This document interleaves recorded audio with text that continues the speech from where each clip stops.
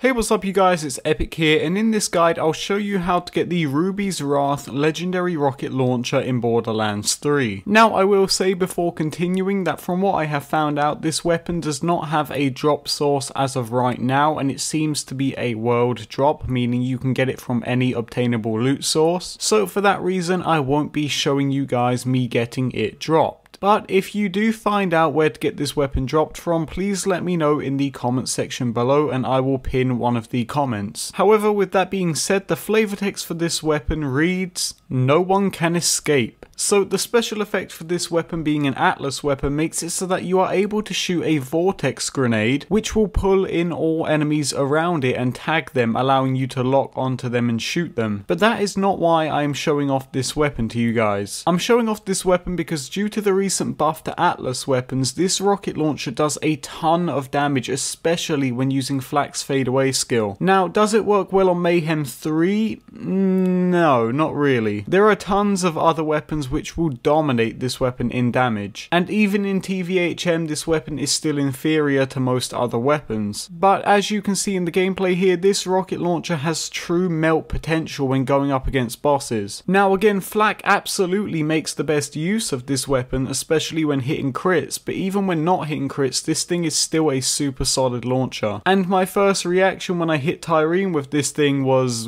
you know, wow, this reminds me of the pipe bomb. So currently seems seems to be a decent weapon in TVHM for melting, but not in Mayhem, so I'll let you guys come to a conclusion on this weapon. Anyway guys, that does it for this guide. Big thank you to channel members Cooked Kiwi and Valentine as always for their support. But with all that being said, thank you for watching and have a nice day.